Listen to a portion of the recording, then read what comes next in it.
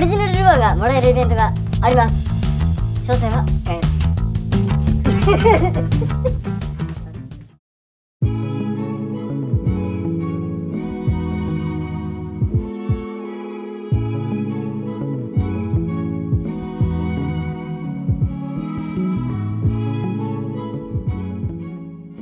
こんにちは。シーバスルアラボです。こんばんは。えー、皆さん梅雨が明けてうん。夏が本番、熱い熱い。暑い暑い。暑いし楽しいし。楽しいし、ねうん。え夏になったらやっぱりねやっぱみんな外に出て遊びたくなる。あそうそう。アウトドア派のね我々アングラーは。うん。そんなね暑い釣りをどう攻略していこうっていうのを、今日はね、えーまあ簡潔に分かりやすくそれなりにはい。話していくんですが、うん。皆さんお気づきでしょうか、うんこの T シャツ。ね。我々シーバスルアラボ。はい。7月で2周年を迎えさせていただくことができましたので。ありがとうございました。ありがとうございます、えー2周年を記念してねオリジナル T シャツを販売する運びとなりました、うん。正式な告知よりね先にこっちで発表しちゃうっていうね。はい。正式な告知動画を明日ね発表するんですけど、はい。えーまあ概要欄の方でもうこれね受注販売です。はい。もうね受注申し込み受け付ける体制にもなってるんで、うん。この動画を先に見ちゃった人ラッキー。あのぜひあのーよろしければ ね僕らのベースのショップに概要欄から飛んでいただいてはい。受注販売あのポチッとやっていただけるとめっちゃ嬉しいです。うん本当真面目でしょえ黒だけ？なんなん？黒だけかと思いきや、えー白もあるんですね。2色展開。ということでまあ詳しくはね明日の動画を待つもよし、えーもう待ちきれないっつってあの受注申し込みしていただけるのもよしうん。あの本当に皆様の、ね、おかげでここまで来れたチャンネルなのではい。あのもう皆様に任せます。詳細な写真とかね内容はもうベースに公開されてるんで。はいぜひチェックして、い、いなと思ったらねうん。ぜひあの余裕があれば買っていただけると幸いです。はい。こんな感じでちょっとだけあの脱線しましたが、うん。じゃあ今日は夏真夏のシーバスどうやって攻略しようの巻です。はい。それでは早速やっていきます。シュータイムはい。というわけでですよ皆さん。はい。えー、まあ真夏梅雨が明けてうん。まあジメジメしたのがカラッという暑さに変わりうん。まあどんな感じにねシーバスがなっていくのかっていうところからまずは考えてみましょはい。はい。考えましょう。まあ基本的にお魚さんっていうのは、ううんえー人と一緒です、うん。えー居心地の悪いところは嫌い。はい。そんなん当たり前。ね人間だって暑いと思ったらクーラーのかかったところに行くじゃないですか、ん。涼しいところに、うん。でどっちかといえばねあのやっぱ昼より夏の方が じゃ昼より 昼より夜の方が涼しいから、うん。だから、えーまあ、地方によってはね夜市というものがね夏にあったりはいはい。祭りを祭りがあんのは夜だったり、うん。やっぱり涼しい時間帯にねなんかやっぱみんな動きたいっていうやっぱ深層心理があるんでしょうね、うん。きっとこれは、はいはい。生き物の差が。深層心理っていうか単純に暑いけど涼しいけんってそれだけやろ。そう。はい。やっぱりねそう地球にね生きとし生けるものである以上やうん。っぱ暑さから逃れるために本能的にそういうことになるんだよ。はいなりますよ。感じでうん。人間って考えたらそうじゃないですか。クーラーのいあるとこ行きたい。はい。それがシーバスだったら何でしょう はい。はい。えー、まあ簡単に思いつくのは、うん。えーまあ、湧き水。うん。湧き水っていうのはね年間通して水温が変わんないわけでう、ん。なんで冬はあったかい。うん。夏は涼しい。っ最高。ていうもう最高のもうエアコンククーラースポットなんで、うとかあとはねやっぱり新鮮な水が入ってくるインレットとか、うん。インレットもやっぱこう水がかき回されることによってやっぱりこうドヨーンとした熱い水がやっぱ一回グワッとかき回られて、オンハイスはダメだと思うよ。さすがに。ん。あの消火栓あの小川あ一河川の本流と、うん。えー消火栓の流入の交わる流れ込みポイントとか、はいはいはい。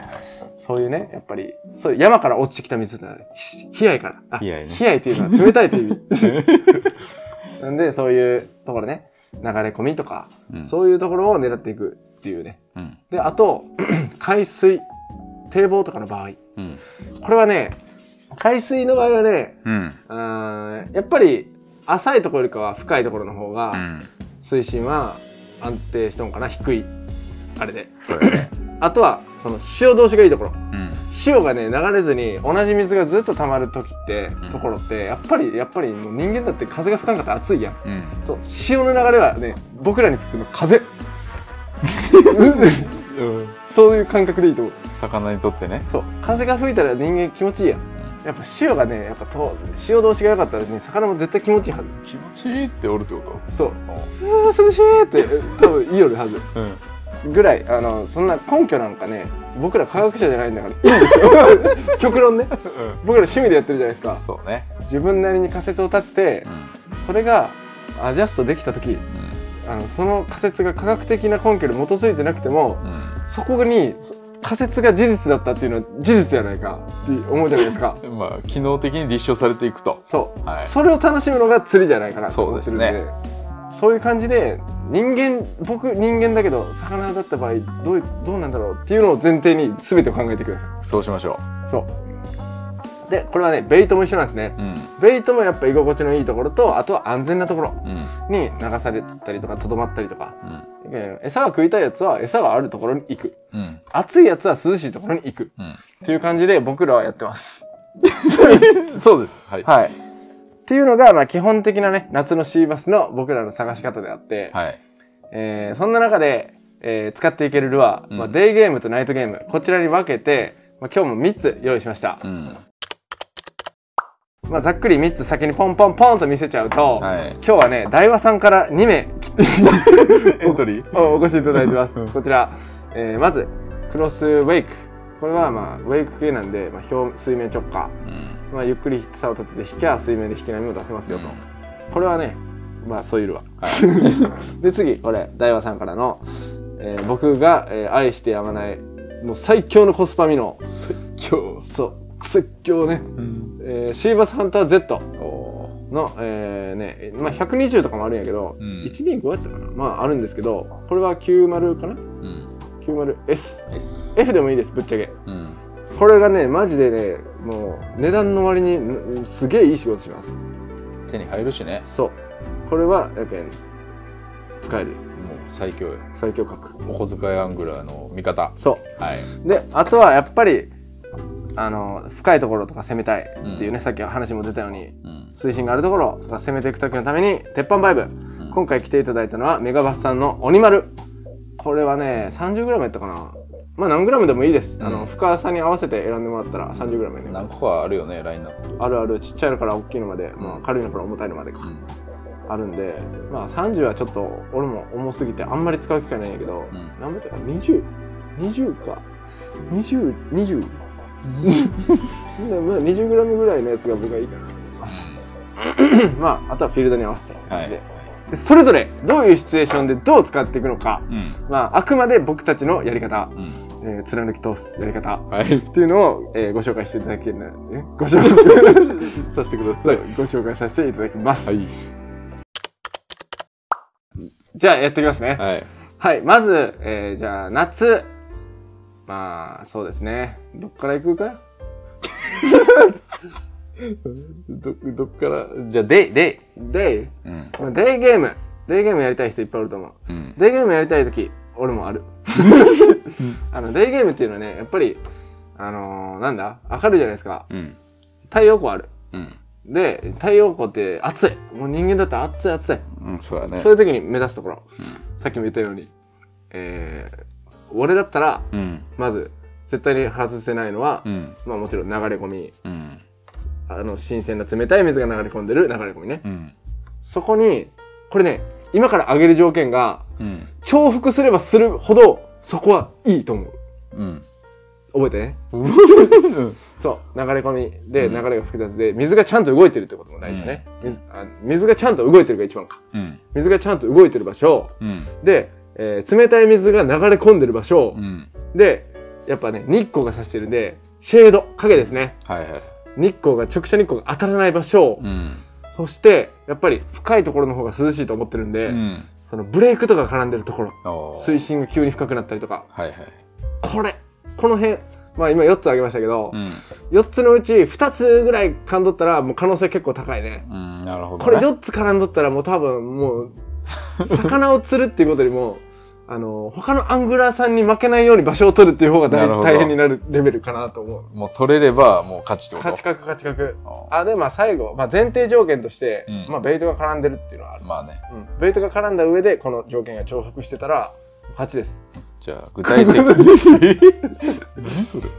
具体的にじゃあどういう場所ですか？具体的にね、うんまあ、それで言うと、まあ、橋脚が絡ん橋がかかってる河川で、はいはい。それなりに水量のある河川でう、ん。で、結構ね、上目、上流目、上流山の方。はい。で、山からのしょ、えー小河川、うんえーね、が流入してるところみたいなね、そんなイメージ。涼しそう。そう。うんで、やっぱり水量のある河川の上の上流の方やから、流れも、やっぱ川幅が狭い分流れが太くなって、はいはいは掘れ取って深みが出とるとかね、うんそういう、もうわかるわかる。わかるわかる。もうあそこやもん。そう。っていう時、ところはいはいがイメージかな。うん。なるほどね。そう。まあ別に、磯とかでもいいと思うんですよ。うん。磯で目の前が潮通しがめっちゃ良くて、はいはい。足元から急にゴーンって水深が入っとってとか、ね。で、例えば山、山を後ろに背負っとって、その、太陽の位置関係によってはそこが影になるタイミングとかねはい。そういう感じで見ていけばいいかなと思います。じゃあ、そういうとこで何を使うんですか？そういうところで使いたいもの。はいや。っぱね、デイゲームってさ、うん。やっぱ影っつっても、うん。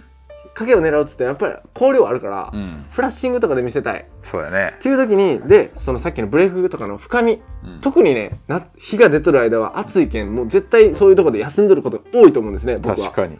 そういう時に、そのブレイクとかに送り込んでいくのが鉄板バイブ。鉄板ね。そう。これをね、そのブレイクラインの上をプルプルプルプルと結構早め巻きでうん通してやっても、なんやなんやってせっかく近く来たんやから食われてけよみたいな。で、下から出てきてく追いかけてくれるパターンもあるし、うん。もうブレイクは完璧に頭の中に地形が入ってんやったら、うん。根がかりせんようにしっかりこうリフトフォールとか、ボトムをちょっと転がしてみたりとか、やっていくと、そこにおったらもう間違いないですね。なるほどね。うん、実際、鉄板バイブじゃなくてもぶっちゃけワームとかでもいいです。うん。あの、VJ とかね、うん。ジョルティとかね、うんでもいいんですけど、まあでも、その辺は、VJ は手に入らないんで、ね まあコスパいいしね、これ。そう、鉄板バイブでもいいと思う。うん。根がかりが怖かったらシングルフックに乾燥しても OK。オッケまあ、シングルフックに乾燥すると、こうやって、フックをねフックが背中を背負ったりとか、しやすくなるけん、ちょっとそこら辺の塩梅は、あの、それぞれか、うん考えてください。ー。わかりました。っていう釣りかな。はい。うん。それは、あの、磯に行っても堤防に行っても一緒かな。うんやっぱり、ちょっと、ちょっとレンジ入れて。うんなんかスローに誘ってもいいけど、まあ、ちょっとやっぱリアクションの釣りをね、うん。だるもう作りもうこんなこんな普通に泳げたらだるいはもう暑いしってなるのが、リアクションされたらリアクションバイト誘発されたら「あいかないかん!」ってなるけんなんぼだるくても なるけん。なるけん そうわかりました。そういうそれがシーババスですよ。そはい。うデーゲームはもう基本的にそんなイメージうん。うんわかりました。はいじゃあ OK。続いて。続いてまあナイト行きましょうかう、ん。ナイトゲームはねやっぱり夜なんで、うん。あのー基本的に明暗でいいですみやんね。うんで、まあ、夜が更けてくると、うん。あでやっぱり河川がいいかなと思う、うん水がしっかり動いてる河川がいいかなと思う、うん。それは別に河口域でもいいですうん。でなんで水が動いてる方がいいかって、うんやっぱ水が止まってるとやっぱ暑いんですようん。やっぱり水がねずーっと動いてる川の方が夜になっても早く水温も下がるやろうん。っていうねうん。そもそもそそんな水温上がらんだろうというはいはい。ところそういう河川で普通に明暗の釣りしたら釣れますうん。でメインベイトになってくるのが、うん。まあ、上流行って鮎がある河川やったら鮎食ってるやろうし、うん。河口付近やったら稲っ子やと思ううん。もう白がね成長して幼稚園卒業して小学校中学年高学年ぐらいかな、えーまあまあまあこれぐらいの1 0センチ前後ぐらいの稲っ子になってったりするでしょうはいはいはい。多くの地域でうん。でやけんまあこういうクロスウェイクだクロスウェイクもこれ 95?90?90 か、うんでこの芝サンタこれ95やったかもしれんなああ、なんか気がするなう。んまあこのぐらいのサイズ感うん。いいですちょうどいいね。あとはあのなんだ？その大体ね稲っ子おって、そのポイント選び間違ってなかったら、うん。夜活動的なシーバスは大体そこでボイルしてます、してますね。うん、ベイトがちゃんとおって条件がねあっとって、うん。ってなっとったら絶対ボイルしよるようね、夏はなんか知らん。けど夏のイメージはね、ボイルしまくるよって。そうまあ秋もそうやけど、うん夏がなんかホットよねなんかかトップって感じ。そう興奮する。ね興奮興奮する。はい。でボイルしよるんやったらもうこういうねウェイク系水面直下から水面、ウェイク系とかまあなんなら今日はご用意してないですけど、うん。トップウォーターでもいいと思う。うん。ペンシルでもポッパーでも。それこそねアイマさんのポッキーとかさ。いいね。いいよね。あのただ巻きで OK やし、ね。簡単やし。そういうので攻めてあげる。うん。でベイトを折ってシーバスも絶対折るであろうはずやのに、うん。ボールがない時、うん。っていうのは多分ね水面下で食ってるパターンか、もうスイッチが入ってないパターンか、うん。うん。っていうことになると思うんです、うん。そういう時にミノうん。おすすめ。まあそれはフィールドの推進に合わせてうん。スインキングなのかフローティングなのかレンジはどれぐらいなのかっていうのはうん。いろいろね決めることあるんですけど、うん。それを、まあ、早巻きでリアクションで狙ってもいいし、うん。もうふ絶対に食いよるっていうか分かったんやったら、うん。そんな早くとかせんでも普通にナチュラルにゆっくり流してやったらシーバスが見つけてくれさえすりゃ食うんで。うんそんな感じで難しいことない。まずねもうシーバス釣りっていうのはポイント選定で8割決まってる。はい。と僕は思う。9割。9割？言い過ぎちゃう？8割でしょ。うん。はい。そう。でもねこんなところで釣れるんやっていうところで釣れるっていうのが楽しみの一つでもあるけん。確かやっぱり絶対に釣れんって決めつけるのは良くないんにで、うん。